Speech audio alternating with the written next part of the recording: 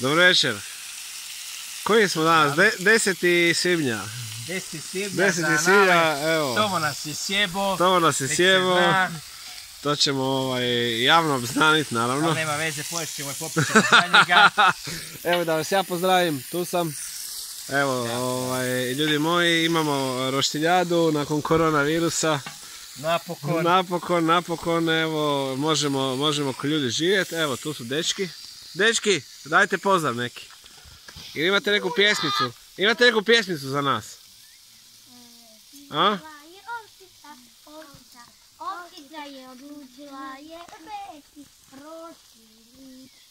Jel volite roštilj?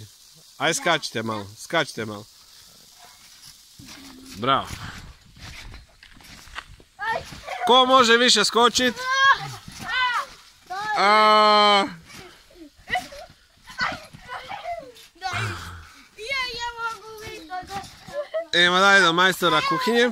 Znači majstor kuhinje je gospodin Jozić Davor. Čevapi gotovi. Molimo Jesu. gazdu da proba. Molimo gazdu da proba.